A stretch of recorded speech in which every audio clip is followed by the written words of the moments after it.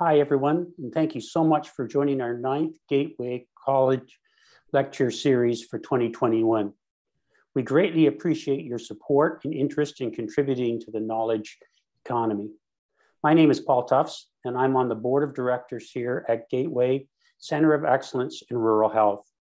Gateway's office is in Goderich, Ontario, and is the only research institute in Canada. It is governed by community-based volunteers who aim to advance rural health teaching and, research across Huron, Perth, Grey, and Bruce counties. Our mission is to improve the health and quality of life for rural residents through research, education, and communication. Beginning in February of this year, Gateway launched its first virtual lecture series with social, isolation, social isolation being at the top of mind as COVID 19 restrictions continued to heighten, there was no better time to launch this initiative. Through this lecture series, our hope is to cultivate a culture of rural health knowledge and innovation while virtually connecting communities to reduce social isolation. Just as a reminder, for those of you that have joined us for all four of our fall lectures, you will be receiving a Gateway certificate in recognition of your interest and commitment. Congratulations. Today's discussion leader is Leith Deacon, who is a research chair with Gateway in Rural Resiliency. When Leith is not volunteering with Gateway, he is working at his regular job as an associate professor with the School of Environmental Design and Rural Development at the University of Guelph. Today, Leith will be leading the discussion entitled COVID 19 and the importance of local data, a case for small and rural communities in Ontario. Joining Leith in this discussion are today's panelists. Please welcome Joelle Lamport-Lewis, Director in Social Research Planning Council, and Ben Lobb, Member of Parliament for Huron and Bruce counties. Leith, Joelle, and Ben, thank you so much for joining us today and now, Leith, over to you to begin your discussion. Thanks so much, Paul. Um, and thanks, Joelle, and thanks, Ben, for being here. Ben, nice to meet you. We didn't have a chance to meet each other before this started, so uh, thanks so much for participating. Uh, I'm going to talk for the next uh, 30 minutes or so about the value of collecting local data. I'll just share my screen while that's happening. Uh, about the value of collecting local data. And I know that for many of you uh, on the call, you've heard me speak about this topic before, but I, am going to do it again today. I feel very strongly that when policies and programs or support mechanisms are designed and implemented, they should be based in data that was rigorously collected from a local community. I believe that it's imperative that local residents are able to see themselves in the policy decisions that impact them and I feel that the best way to make sure that this is possible is to work directly with local residents. Ask them what is important, ask them what matters, and what do they believe should be done. I'd like to make it clear that I am in no way advocating that the general public should get to make the decisions, but rather their experiences, their ideas should be taken into account when experts, when policymakers start to make decisions by ensuring that the public is able to see themselves and the realities reflected back to them in policy will help increase buy-in. It helps increase the success of any particular policy. And of course, it increases the impact of the said policy. So today's topic is, as Paul mentioned, COVID-19 and the importance of local data, a case from small and rural communities in Ontario. I typically don't offer a presentation overview, but today I am jumping around a little bit, so I thought it might be helpful. I'm going to start by reviewing the mission of Gateway to make sure that everyone on the call today is aware of the important work that this organization leads. I'm then going to get into why local data matters, move to an explanation or a justification of the focus on small and rural communities, and then introduce a project that is being led currently out of Gateway to enforce the importance of local data, and then spend the remainder of the time talking about a large project that I'm the lead on that has collected a very, very large amount of local data. So I'm going to start with the Gateway mission. As you can see on the screen, the mission of Gateway is to improve the health and the quality of life of rural residents through research, education, and communication. And as Paul mentioned, it focuses on the four uh, counties of Perth, Huron, Bruce, and Grey. It is a very unique research institution uh, that leads several initiatives. Currently, there are eight on the go, and they have massive ranges from frontline workers, impacts of COVID on Syrian refugees, connectedness and coaching, uh, and so forth. And it covers and collects a broad amount of data and really works hard to mobilize that data to get it back into the hands of people who can utilize it. So going from that point forward, I think many of us have heard this saying, and I know I saw Wayne Caldwell on, on the call, and I know I've heard him actually say this. If you've been to one rural place, you've been to one rural place. And I, I find this kind of a nice a nice quote, but I particularly don't subscribe to it. There are commonalities between rural places, but there are also local nuances. Rural is not a monolith. Rural is not only agriculture, but also so much more.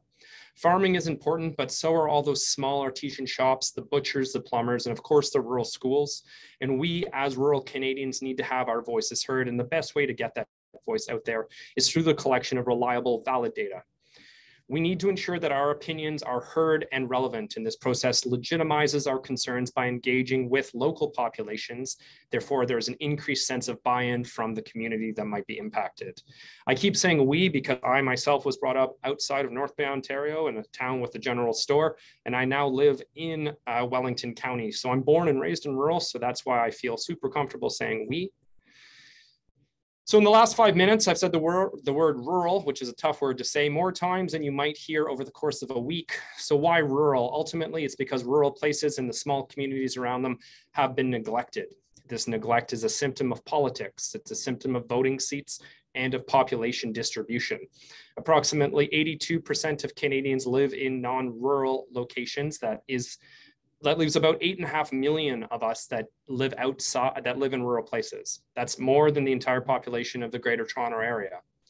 That being said, the vast majority of policy decisions are based on the experiences of the other 82%. And I, for one, think it's critical that everyone should be able to see themselves in policy, not simply the people from Toronto, London, or Waterloo. Why is this important? Because rural places are different, not because they're better, not because they're special, because they are different our demographics are different. Often we have a greater percentage of older residents, so ideas around topics like mobility are critical. We're isolated digitally, we lack broadband, service, we lack medical specialists, and of course, physically. COVID has brought attention to the implications of these factors on the mental health of all Canadians, but the experience of rural Canadians is unique and requires a different response. The other reason that rural should matter, and it does matter, is because of economics rural Canada contributes a significant per, uh, percentage to Canada's GDP. Think of resource extraction, think of forestry, hydroelectric generation. Most of this occurs in rural places, and that's without mentioning agriculture. I imagine I'm preaching to the choir here, but the impacts of ag and ag food on Ontario's economy cannot be understated. Nearly 800,000 jobs are related to the agricultural value chain and nearly $40 billion in GDP contribution. As you can see, nearly 50,000 farms, the vast majority of which are family owned, are, are uh, exist in this, this chain, as well as 4,100 business locations and over 15,000 retail stores. The impacts of ag are critical not only for rural Ontario, but rural Canada more generally. The first project I want to quickly highlight has received funding from the Ontario government and is being led out of Gateway. The goal of this study is to strengthen Huron-Perth rural communities by ensuring that the voices of local employers and their employees are heard and reflected in potential solution generation. We've designed a mixed methods research project to gather data from all employees and employers across Huron and Perth. Currently, a quantitative survey is open that is gathering individual data on mental health. We are asking questions about individual well-being and importantly, what services, both formal and informal, uh, individuals are accessing. We are attempting to gather information that can be used to inform policy decisions about what services are appropriate for residents from small and rural communities and what supports are wanted. What currently, what current services are or are not working? We are then going to launch a series of interview focus groups to glean contextual details about the specifics, to add further information about what is impacting the decision-making process. Ultimately, we are going to provide some really important local data that will be shared widely with the Ministry of Labor, other relevant audiences that can improve the resiliency of our communities. This is an example of how Gateway works directly with the communities that they serve to try to gather as much relevant information and turn it into important policy decisions. The second project that I want to highlight and spend the rest of the time talking about is the Rural Response to COVID project uh, that I've been leading. Today, I'm going to pull data that has uh, been collected from Perth and Huron counties, and I'll talk about the expansion in a little bit. But the goal of this project was to explore the experiences of resident, the experience of residents from across rural and small communities within Ontario. In consultation with the research team and an advisory group, five objectives, which you can see there on your screen, were developed. It's critical to note that on the advisory team, local residents were representatives uh, folks from the NGO sector, local government spokespersons, local health units, local businesses. And additionally, I personally reached out to as many uh, organizations that would take my call social services, Ontario Works, immigration groups, economic development, agricultural groups, and so forth.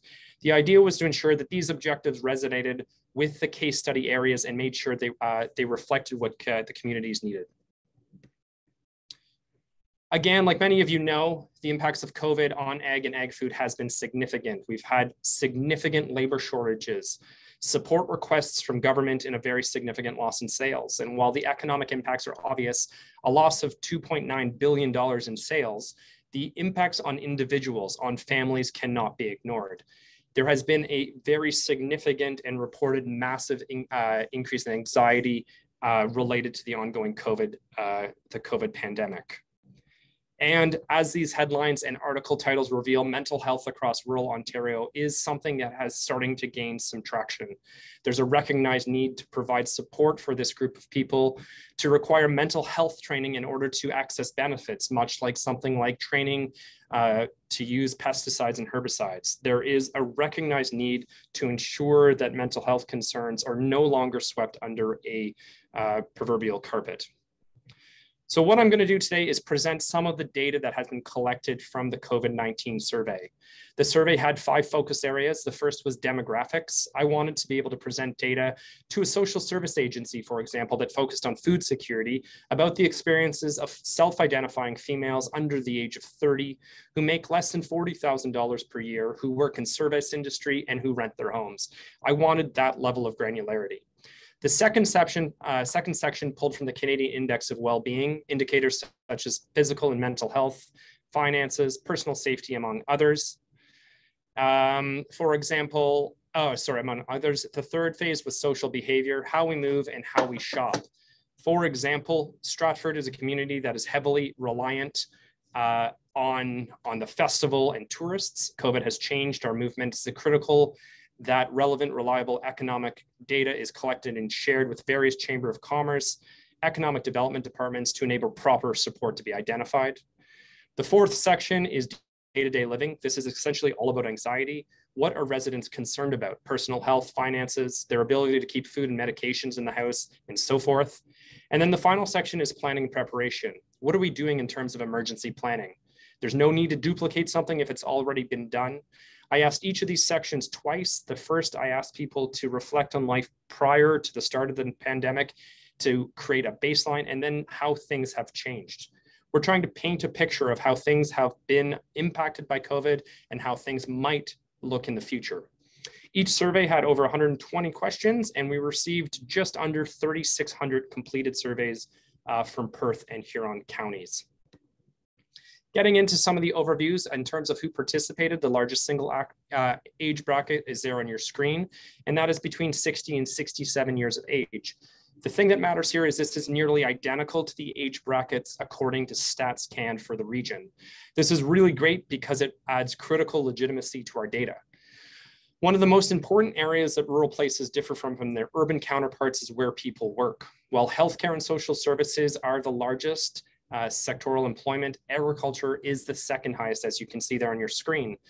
Ag isn't so much of a job as it is a vocation. Individuals in this uh, sector cannot simply close the barn, uh, the barn door at the end of the day, so to speak.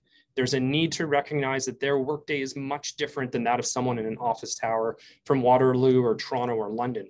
Services that support these individuals must reflect that critical reality. Now let's get into some of the data. As I mentioned, participants were asked to assess their well-being using the CIW indicators. Here are the responses prior to the pandemic and here are the responses after. These are before and these are after. No numbers, just trends. Anyone can see that the increase in the values on the right, these are the bad values.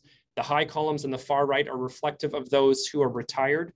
So there was a question about retirement satisfaction as well as employment satisfaction. You can assume those are the people that said uh, it doesn't uh, impact them. Sorry, there we go. Now we're going to get into mental health. This is showing the self-assessed mental health of respondents before and after the start of the pandemic. What you can see is a significant decrease in mental health, more specifically, 45% decrease in participants who indicated they had excellent mental health after the start of the pandemic. There was a 32% increase in participants who indicated uh, since the start of the pandemic, their mental health was average a 57% increase in participants who, since the start of the pandemic, said they now have satisfactory mental health, and a remarkable 78% increase in participants who reported poor mental health since the start of the pandemic. As many of you understand, sex is one of, if not the most indicators of vulnerability. Women simply are more precariously employed.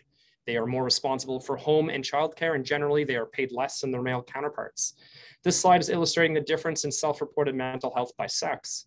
There was a 42% decrease in self-identifying females who indicated excellent mental health since the start of the pandemic. This coincides with a 5% decrease in uh, males in the same category. So 42% decrease for self-identifying females in that excellent category, a 5% decrease for self-identifying males in that category. So a very, very significant difference right there. On the other side, uh, not as stark differences, a 68% increase in females who indicated satisfactory uh, for females, a 70% increase for males, and then all the way to the far right, uh, a 71% increase in males compared to a 67% increase in poor for females. What this slide is illustrating is the relationship between income and mental health. Perhaps unsurprisingly, there was a stronger relationship between those in lower income brackets and an increase in participants who indicated poor mental health. What I do want to mention that while it was a stronger relationship, there was a statistically significant relationship in all income brackets. Everyone was impacted by COVID, and we're unable to say at this point uh, with certainty the impact that income has played without conducting further, further uh, interviews and focus groups. What you're looking at now is an illustration of the relationship between uh, sex, mental health, and income. I don't have time to tease out all of the information, but what you're looking at here is female data. Uh, it's not statistically significant, but it is still a factor. The data on this slide shows the relationship with poor mental health and low income and an increased impact uh, from the pandemic based on sex. And we can hypothesize this is related to that previously mentioned precarious employment, low wages, increased uh, duties at home around kids specifically. Perhaps many of the respondents have either been furloughed or lost their job altogether. Again, this would be all covered in uh, subsequent interviews. Now let's go over to age a little bit. While we originally thought this might be super significant, it was mostly just interesting, but I do have a caveat that I'd like to talk about here. We'd like to ask some qualitative descriptive questions to add more detail about this, but what you're seeing is that regardless of age, mental health has been impacted. Some takeaways though were that the most significant relationship was in uh, individuals in that younger age bracket. 18 to 29 uh, expressed a 71% decrease in that excellent mental health category since the start of the pandemic. On the, on the flip side, the same cohort, 18 to 29, an 80% increase in self-assessed poor mental health. So what we're really interested in is teasing this out more. And as many as you know, this group in all likelihood is either still in school, unemployed, underemployed, maybe they bought their first home or they have new families. There's a myriad of factors that lead to a sense of instability often within this stage of life. And what we're trying to get to is that there is a need for policy uh, those that develop policy to recognize this. The mental health supports that impact and are best for a younger Canadian are not what is going to work for an older Canadian. Just to highlight some of the previous data specifically just by one sex, what you see here is females. So if I go just between the 18 and 29 age category for females, it is a 95% decrease in females between the age of 18 to 29 who self-assess their uh, mental health as excellent since the start of the pandemic. All I want to do there is really illustrate the impact for that particular group, especially when you layer it on with sex. And what I've done here is bring attention to one particular category, 18 to 39. Over the last 18 months, there's been a real effort by all levels of government to bring attention to the impact of COVID-19 on older Canadians, 65 plus in particular. And I think according to the data that we've collected, there's a need to highlight the impact of COVID on younger Canadians, particularly 40 and under what you're seeing is a, nearly a 76% decrease in respondents who self-reported their mental health is excellent since the start of the pandemic. 50% uh, decrease in individuals who responded their mental health is good. And then moving to the other side, a 60% increase in individuals who self-reported their mental health is satisfactory, and nearly an 87% increase in individuals, females between the age of 18 to 39, who now say they have poor mental health. It's critical that when plans and pro programs are designed, local data is used to ensure that they are trying to achieve uh, what they set out to do. What you're seeing here is just a headline, headlines that have been collected of how some of this data has been used. Uh, obviously, as was mentioned, I work at the University of Guelph, so one of my biggest deliverables is peer-reviewed journal articles. I realize that they're not a big seller, uh, in fact, the data is better if it gets back to the community. So I work really hard on knowledge mobilization so that if there is a nonprofit, for example, that needs some data that supports their feeling that they've experienced increased ambulatory, they, there's an increased need for ambulatory care, let's make sure that data can be used to advocate for that. So that's just a sample of how we're using some of the data. I've also uh, published a series of reports that have been uh, widely circulated by the United Way. So far, there's been three. Uh, you can see the titles there, but mental health, gender, housing and homelessness, and then there's an economics one that is due, I think, this week. And then we'll have a much larger report, kind of bringing it all together and then putting the data from Huron and Perth within the larger project. I've also had a number of infographics out because I think it's really important for researchers to recognize that not everybody digests information the same way. Uh, by putting, uh, by hiring a graphic designer, I, I, mean, this is not my skill set, but they can work to understand how numbers, quantitative data can be used in effective ways. So we've created these infographics that again, are all uh, able to be shared on social media, all networks, just to try to get the data back out to the communities where the data was collected from and then I've given, I have no idea, I say 35 uh, presentations, but I give a ton of presentations and talks. They vary from kind of larger institutions like the Rural Ontario Institute, all the way to, I gave one to a local high school. Uh, I give radio station interviews. I taught uh, one lecture here at the university on disasters as well as uh, the station, so forth. Again, any medium possible to get the information back out. And then what has happened since this original pilot study has been uh, uh, started in Perth and Huron, I received 230,000 from the Ontario government to expand. Seven additional counties have been hit uh, in terms of data collection. And I'm just going to play this little video here on the side. That's a group of students trying to go through the data that has come in. We've received 23,000 completed surveys so far. I went back today to pick up more mail and they told me that I'm well over 25,000 completed surveys. We are in the middle of data entry and analysis and the implications for rural Ontario planning and programming are very significant. At this rate of data collection and this sheer volume of data, we can start to develop predictive modeling that can be used uh, to, to influence or should be used to influence policies and plans in all rural communities across Ontario. And then there are lots of questions about the role of the federal government in terms of expansion further. Oops, I don't want that again. Obviously, it's been a large project, so I've listed just some of the key people here, the original advisory committee, as well as my contact information. And then I think I've got everybody that has provided any sort of funding to this project. A project like this started, or this project in particular, started with $10,000 from the University of Guelph. I have no idea what our budget total is at this point, but we're well uh, on the other side of 400,000.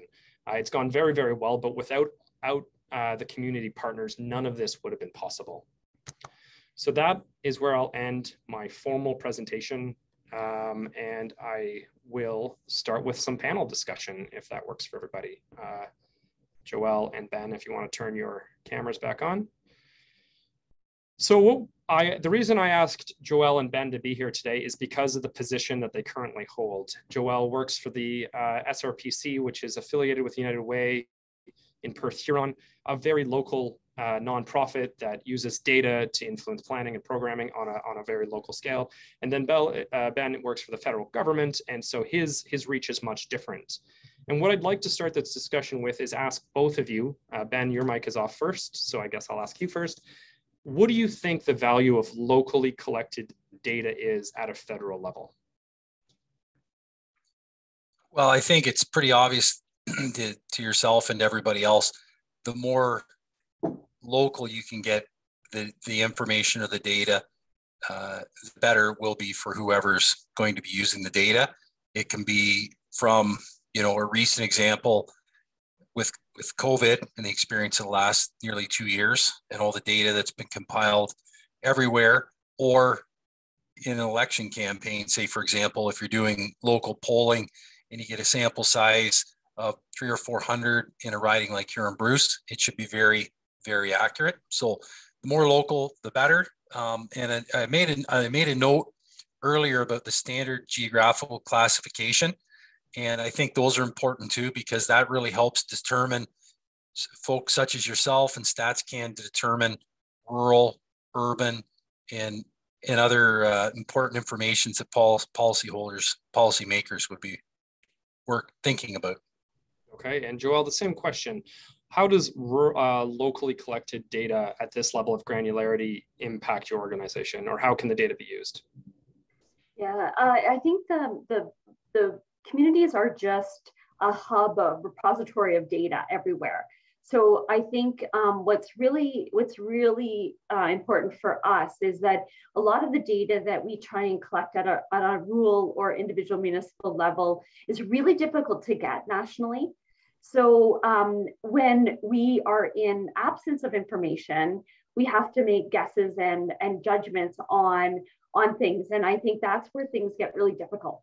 So um, data is extremely important for decision makers right from the right from program and service delivery all the way up to policy um, and uh, funding decisions as well. It also helps us inform provincial and federal um, um, decisions as well, because in our, our rural context in particular, um, there's a lot of information that is different um, that not than from other uh, provincial or urban, more urban centered organizations. And for example, um, we see mental health addiction you touched on.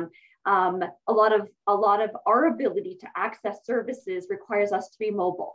So in a jurisdiction that has a high rate of um, elderly population or um, um, isolation factors, we, we, we can't get to some of those services that are an hour, hour and a half away. So in order for us to make the decision or to be able to contribute to the services that we need for the, for, for the uh, um, results in our population is that we have to know that in order to help direct provincial and federal level governments and or uh, decision, decision makers at the municipal levels.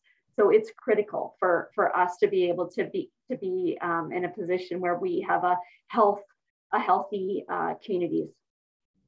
Okay, thanks. And um, my next question then, oh, there's one in the question. Okay, so I'll jump, anybody on the call who has questions, you can type it into the Q&A box. Uh, I think it's at the bottom of your screen, maybe. I think that's where it is. Uh, so from Amanda, it's great to see this project expanding. How do you see the remainder of rural Ontario benefiting from this work? Would it be through expansion of data collection to other communities, encouraging other communities to replicate this type of study? Or do you see the data you have being generally applicable to other non-participating regions? So I think that's a really interesting question, especially to someone who is originally from Northern Ontario. Amanda, I know that's where you are located as well. I have put in for a second research project that's not the same, but affiliated that has full endorsement from the Northern Policy Institute as a formal uh, partner. So there is expansion into the north.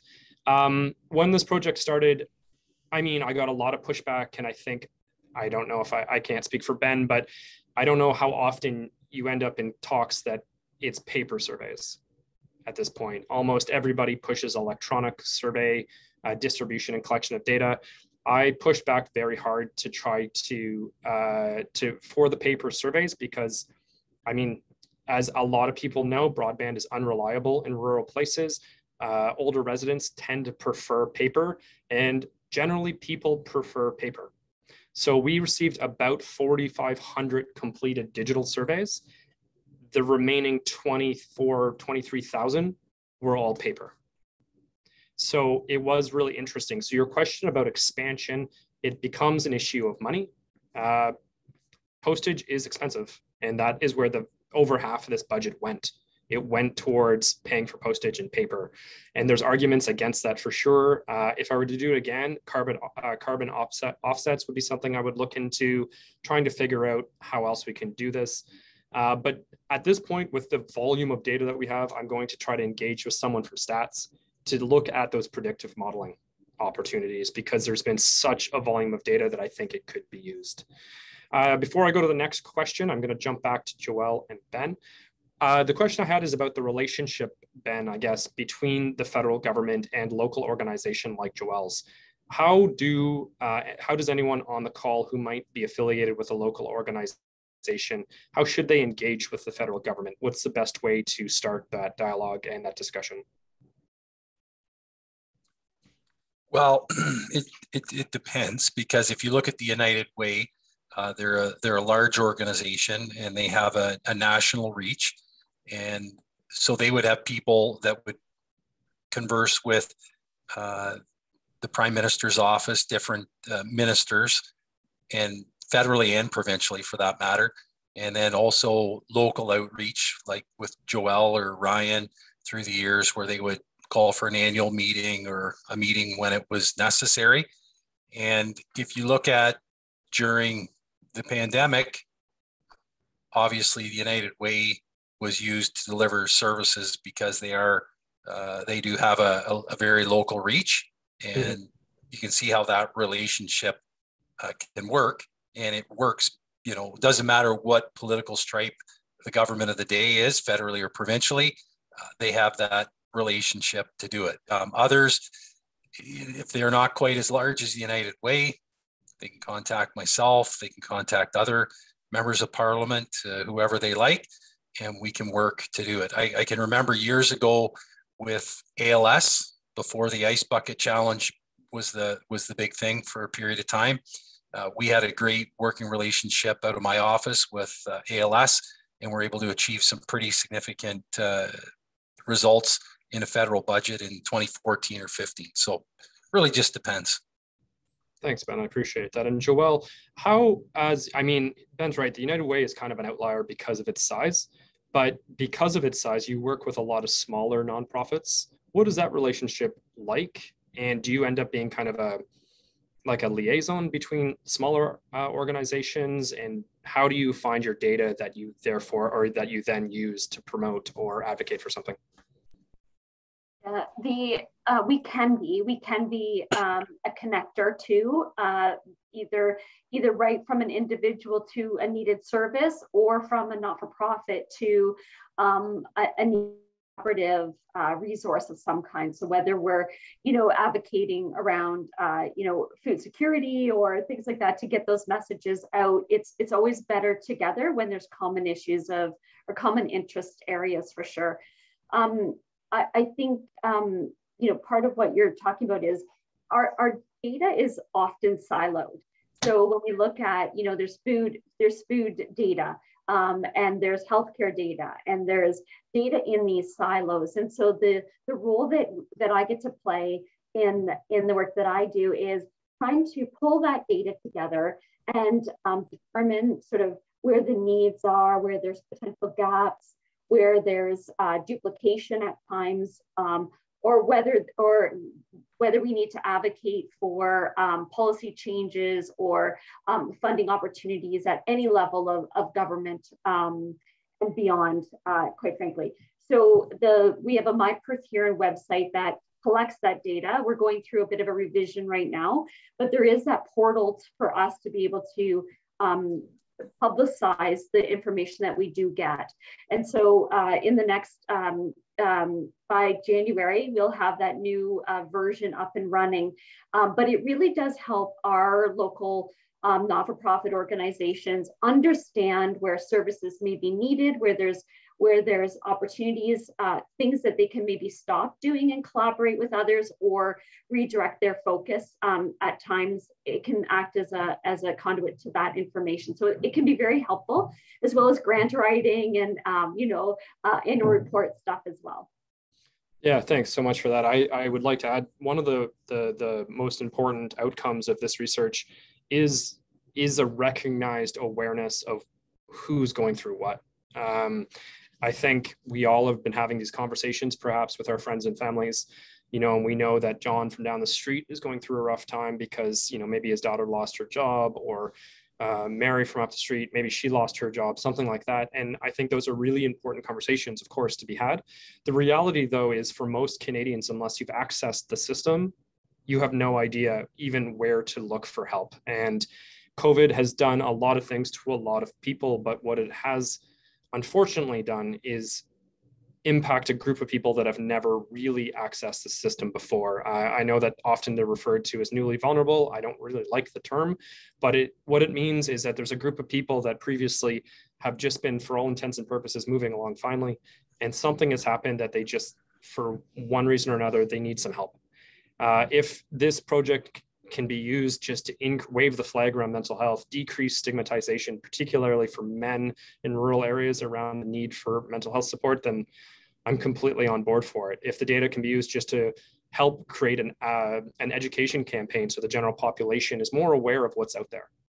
Um, I worked really hard on this project and I give all these talks because I really think it's critical that all people that I'm asking to participate know that I'm using the data back towards them.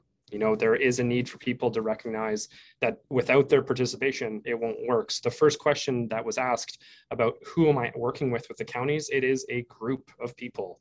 Uh, I engaged directly with county municipal government on all at all levels or at all counties. Uh, the reason is because I've, if I don't get that endorsement, I'm sort of dead in the water. So I engaged with individuals primarily from ECDEV because that's where I ended up uh, interacting with them. And then they engaged with a massive group from their specific county. So, for example, Oxford County, uh, they ended up having 20, I think it was 24 groups that promoted the surveys within the county. And because of that, I think Oxford is going to end up with almost 6,000 responses. Oxford was really, really proactive about pushing this out. I say often that I can create you a survey, but I don't have the network to get it into the hands of people that I want to fill it out. So I worked in Huron and Perth with uh, both municipal or both, both county levels, all upper, all lower tier, every single lower tier municipality I interacted with. I gave talks to every council. I went to nonprofit organizations, food security places, the United Way, obviously, Salvation Army, as many people as I could or took my call. I also responded to every phone call myself. So it is, I mean, it is a pain for sure. And not everybody is super happy to get my survey, but I mean, I think one of the reasons why I want or I, I agreed to give this talk is just if there's anybody on the call that has been annoyed by my survey, then this I want to kind of clarify what the data is being used for. That I'm not just holding it. This is not a government conspiracy. It literally is to gain information that services can benefit from. Uh, over time, rural medical services, especially hospitals, have been reduced, limited, or closed. Are you seeing reflections on reduced mental health that align with the physical health consequences? What we are seeing is a decrease in overall mental and physical health, except the difference is much more drastic in mental health. The issue that I want to go further with around mental health uh, impact is what does mental health mean? So anyone who works in the field understands there's a significant difference between mental health and, a, and mental illness. I'm not certain that, that that's well recognized or understood across the public. So I would like to ask questions about mental health, addictions versus mental illness as well. Try to get to the bottom of that a little bit more. Uh, physical health implications, I'm getting people talk about uh, weight gain in particular, but physical health hasn't been discussed too much. In the expansion, I ask about alcohol uh, intake, uh, cannabis intake as well as opioid intake, trying to get uh, some information on that area as well. So at this point, I can't really speak too much about what those findings are because, as I said, we're still uh, collecting all that information. Uh, multivariate analysis, yeah, okay, so predictive uh, modeling for cross-sectional data, it is really difficult. The reality is, though, that this is not going to be our last disruption. So I really, really hope that we don't have another mass global pandemic but there will be more disruptions. And the more information we can gain from this current, I don't want to call it an opportunity, but this current opportunity, the better prepared we can be for future disruptions. So if we're able to get this information and use multivariate analysis to start to develop these models, anything, in my opinion, will make us better prepared moving forward so that we're not kind of stuck on our on our heels a little bit. Uh, there's been lots of criticisms leveled at all levels of government regardless of your political stripes, there wasn't a great playbook.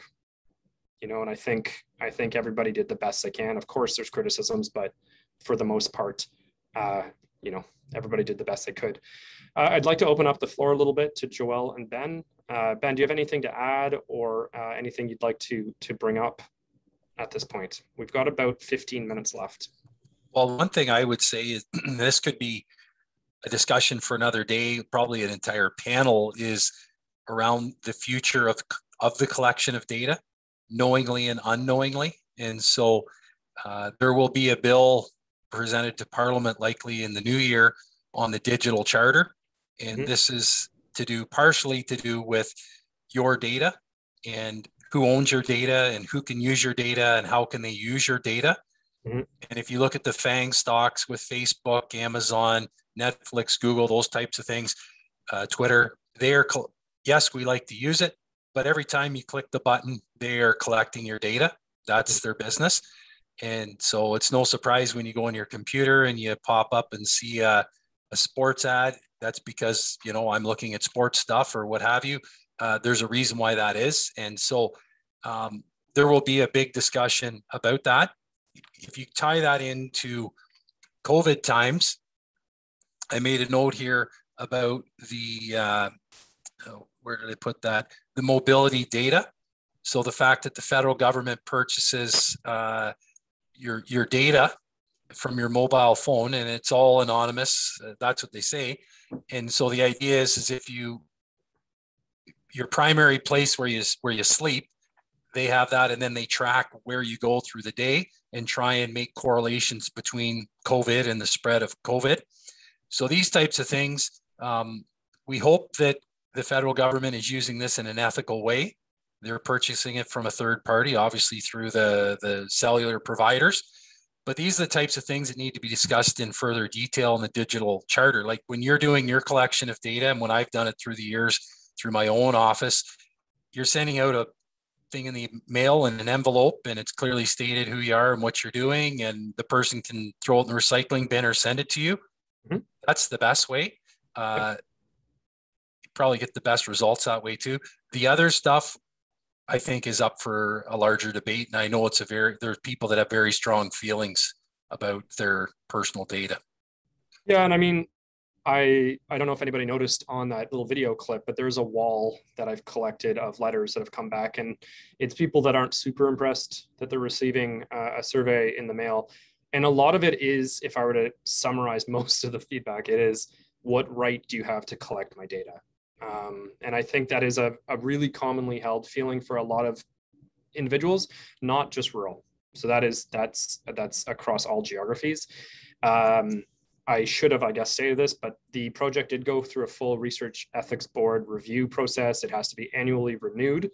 Uh, there is no identifiable information being collected other than uh, your geography. And that's not by postal code, it's just by uh, lower tier municipality. And you can also opt out of it, of course. So no question is mandatory. You can opt out of it. Um, so I understand people's hesitation sometimes because of exactly what you said, Ben, uh, about all of the, especially the negative information that is spread about what our data is being used for.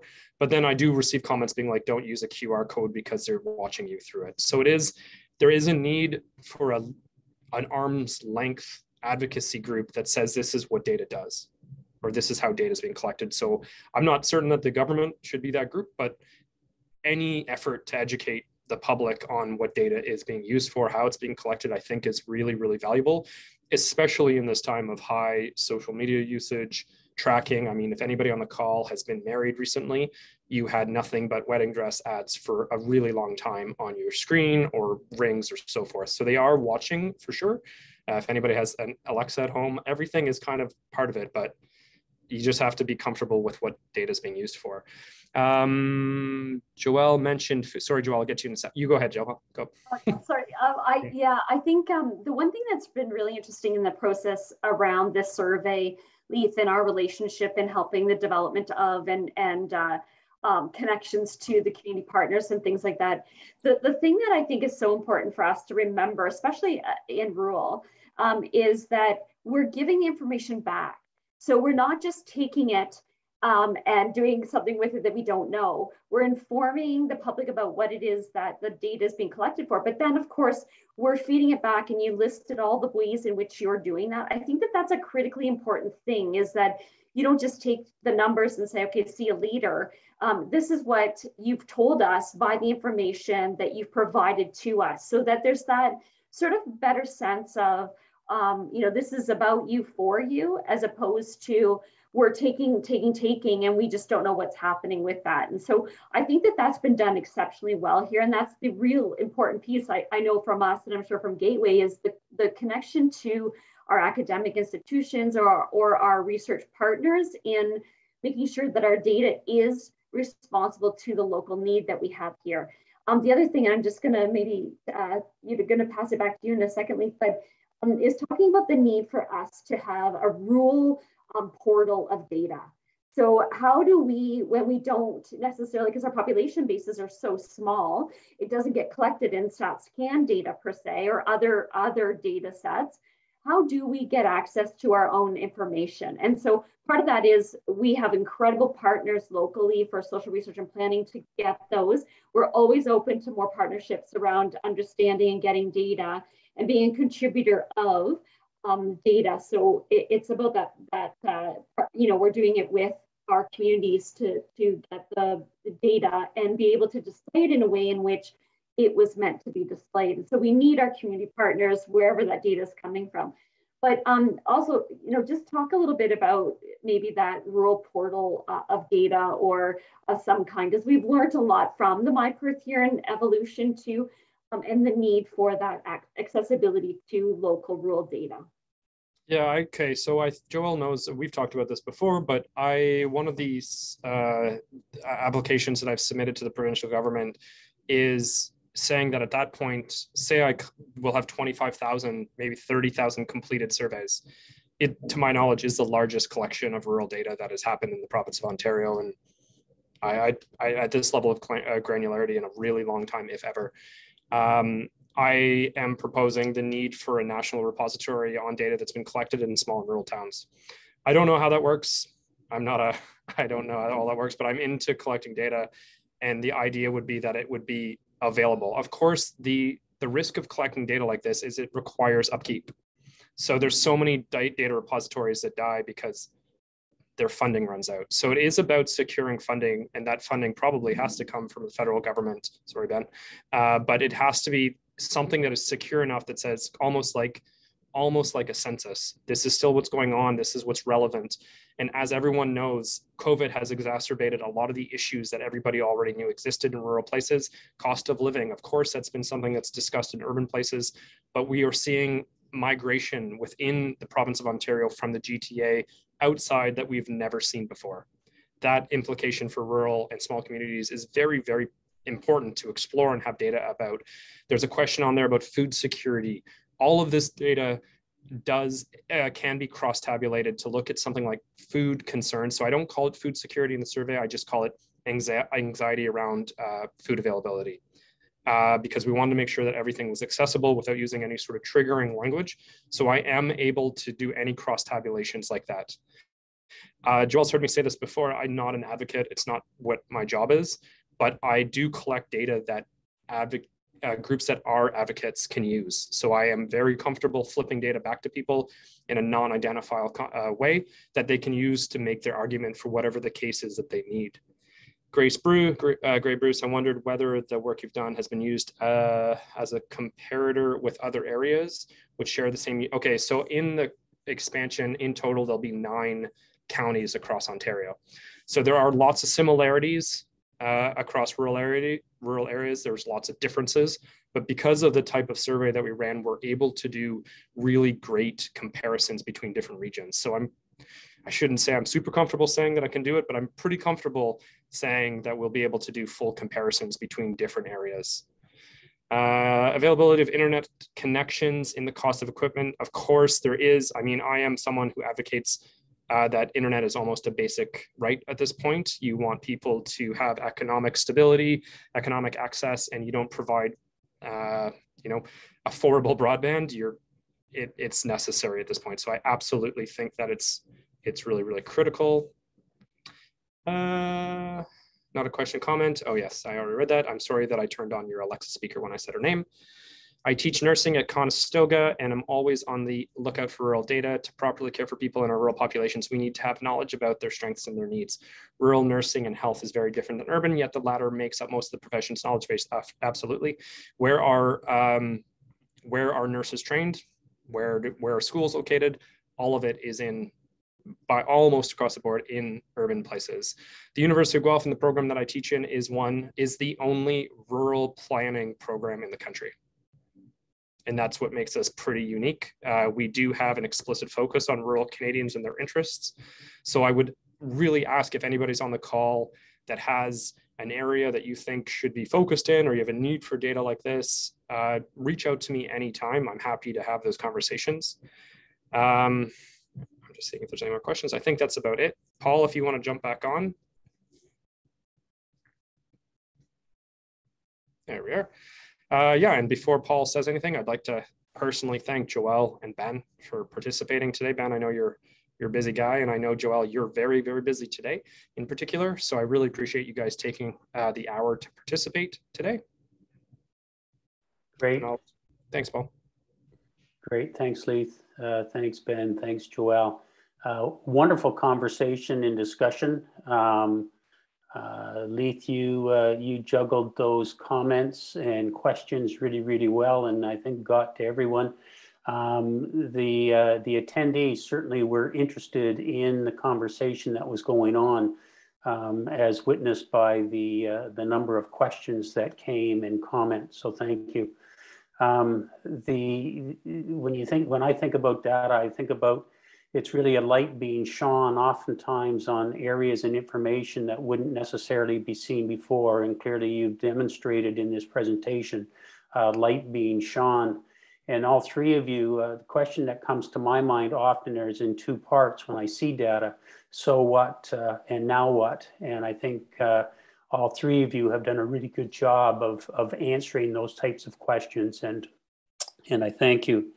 Um, Leith, a, a, really big thank you for creating this conversation, as, as we said, around this topic, and, uh, and Joel and Ben for sharing your insights. Also want to take this opportunity to thank our sponsors. Uh, they are Bruce Power, Larry Otten Contracting, CIBC Private Wealth Management, to Jagger Town Square IDA Pharmacy, the Town of Goderich, and Goderich Zehrs. Thanks for your continued support. Without you, this lecture series would not be possible.